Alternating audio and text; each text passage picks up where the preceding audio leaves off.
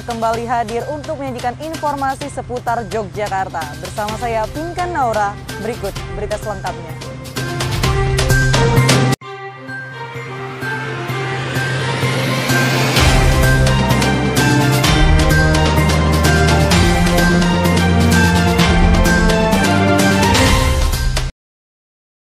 Berita pertama datang dari kawasan Jalan Jenderal Sudirman. Adanya pembangunan pedestrian hingga Jalan Abu Bakar Ali guna memperindah tata kota Yogyakarta. Sudah ada reporter kami, Suma Maulida, yang langsung melaporkan dari Jalan Jenderal Sudirman. Baik Suma, bagaimana laporannya? Selamat siang pemirsa, saat ini saya sedang berada di Yogyakarta, tepatnya di Kota Baru. Seperti yang pemirsa lihat di layar kaca, tepat di belakang saya saat ini sedang berlangsung proses pembangunan kawasan pedestrian. Proses pembangunan ini salah satu tujuannya yaitu untuk memperindah tata letak kota yang ada di Kota Baru Yogyakarta ini.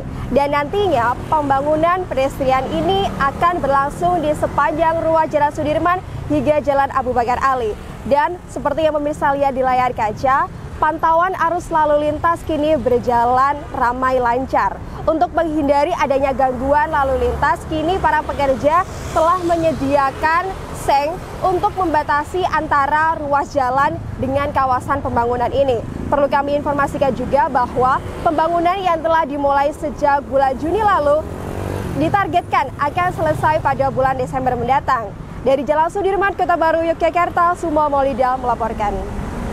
Ya, baik Suma, terima kasih atas laporannya. Beralih ke berita kedua, kekeringan yang melanda kota Yogyakarta mempengaruhi pertumbuhan sayuran khususnya cabai sebagai salah satu bahan pangan yang berdampak pada harga penjualan. Sudah ada tiga reporter kami yang akan melaporkan dari tiga pasar yang berbeda. Ada Bening dari Pasar Keranggan, Insan Muhammad dari Pasar Kutu Patran, dan Ayu dari Pasar Buah dan Sayur Gamping. Saya mulai dari Bening dari Pasar Keranggan, bagaimana laporannya? Iya pemirsa, saat ini saya sudah berada di Pasar Keranggan Yogyakarta untuk melaporkan harga cabai terkini. Dari pantauan kami, saat ini harga cabai mengalami kenaikan sebesar Rp10.000. Dari harga sebelumnya, cabai keriting dari harga Rp35.000 menjadi Rp45.000 per kilogram. Sedangkan cabai hijau dari Rp25.000 menjadi Rp35.000 per kilogram. Uh, faktor utama kenaikan harga cabai memang disebabkan karena musim kering yang sedang melanda kota Yogyakarta. Hal ini mempengaruhi hasil panen dari petani menjadi berkurang. Uh, untuk laporan selanjutnya akan terhubung oleh Insan Muhammad di Pasar Kutu, Yogyakarta. Ya, Pinkan dan pemirsa, apabila Anda tadi sudah terhubung oleh Bening di Pasar Keranggan, Yogyakarta, saat ini Anda telah terhubung oleh saya di Pasar Kutu, Kutuduku Sindua di Sleman, Yogyakarta, untuk melaporkan harga terkini cabai di Pasar Kutu, Yogyakarta. Untuk per 5 Oktober 2019, eh, dapat saya laporkan eh, cabai di Pasar Kutu masih mengalami kenaikan, mengingat dari petani sendiri yang memang telah menaikkan harga. Untuk rinciannya dapat saya laporkan, eh, harga cabai rawit terpantau yang semula Rp35.000 per kilogram mengalami kenaikan menjadi Rp45.000 per kilogram. Dan untuk harga cabai merah keriting yang semula Rp30.000 per kilogram naik menjadi Rp35.000 per kilogram. Dan untuk harga cabai hijau yang semula Rp25.000 per kilogram naik menjadi Rp30.000 per kilogram. Uh, dan memang faktor kekeringan menjadi salah satu faktor utama mengingat Yogyakarta masih dilanda kekeringan yang belum bisa diprediksi kapan kekeringan ini akan berakhir. Untuk selanjutnya Anda akan terhubung oleh Ayu Aziza di Pasar Gamping, Yogyakarta. Baik, terima kasih Insan dan Bening. Sekarang saya berada di Pasar Buah dan Sayur Gamping yang terletak di Kabupaten Sleman, Daerah Istimewa Yogyakarta. Jika sebelumnya di Pasar Keranggan dan Pasar Kutu menyatakan jika harga cabai mengalami kenaikan, akan tetapi di Pasar uh, Buah dan Sayur Gamping ini harga cabai mengalami penurunan drastis pada bulan Oktober, lebih tepatnya pada awal bulan Oktober kemarin pasokan cabai yang diambil dari Banyuwangi ini mengalami penurunan hingga mencapai setengah harga. Kemudian e, seperti harga cabai keriting itu mengalami penurunan dari harga 75.000 menjadi 30.000. Kemudian harga cabai rawit dari harga 80.000 mencapai 40 uh, 5.000, kemudian harga cabai hijau dari uh, 40.000 menjadi 20.000. Tentunya harga cabai ini mempengaruhi jumlah pasokan uh, jumlah pasokan cabai dan harga sayur yang lain. Ayu Aziza melaporkan dari Pasar Buah dan Sayur Gamping. Kembali ke studio. Baik, terima kasih laporannya Bening dari Pasar Keranggan, Insan Muhammad dari Pasar Kutupatran, dan Ayu dari Pasar Buah dan Sayur Gamping. Selanjutnya bagi pemirsa yang suka nongkrong di warung kopi, kami kasih rekomendasi warung kopi kota Yogyakarta. Namun setelah jeda pariwara berikut ini.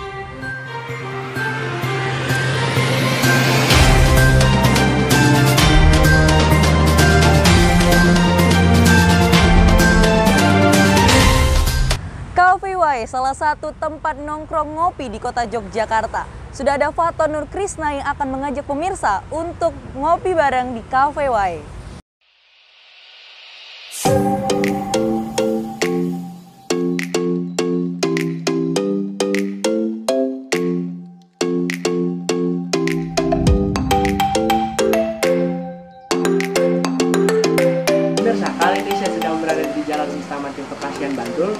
Tepatnya di Coffee Way.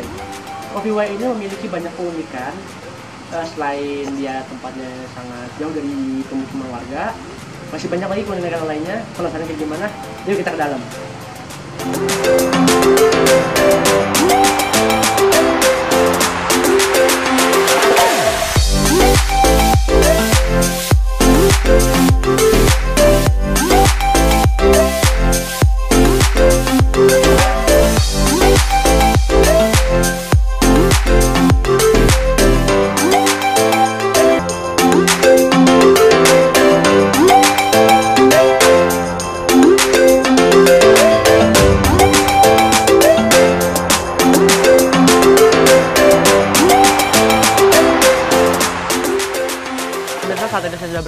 Berada di mana Coffee Way ini memiliki banyak sekali keunikan.